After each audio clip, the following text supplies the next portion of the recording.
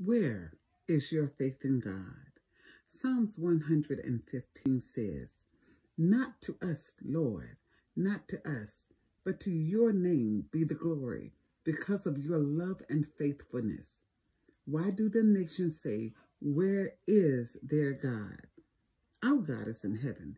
He does whatever pleases him. But their idols are silver and gold made by human hands. They have mouths but cannot speak, eyes but cannot see. They have ears but cannot hear, noses but cannot smell. They have hands but cannot feel, feet but cannot walk, nor can they utter a sound with their throats. Those who make them will be like them, and so will all who trust in them. All you Israelites, trust in the Lord. He is their help and shield. House of Aaron, trust in the Lord. He is their shield and help. You who fear him, meaning us, trust in the Lord.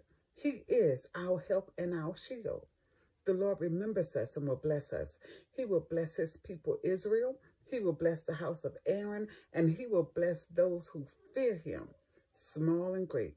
May the Lord cause you to flourish both you and your children. May you be blessed by the Lord, the maker of heaven and earth.